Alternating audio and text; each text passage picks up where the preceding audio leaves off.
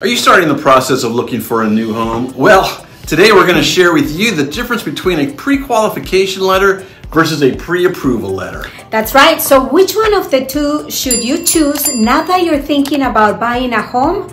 Let's break it down. First up, we've got the pre-qualification. Think of it as your warm-up session in the mortgage marathon.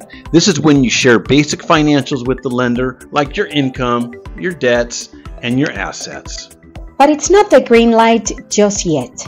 A pre-qualification gives you kind of like an estimate, a peek at your potential budget, but it's not the golden ticket that's going to take you to homeownership. Now, on to the main event, the pre-approval. This is where things get real. Here's where you share with your lender your tax returns, your pay stubs, bank statements, and ID. In other words, the whole nine yards. So here's the kicker.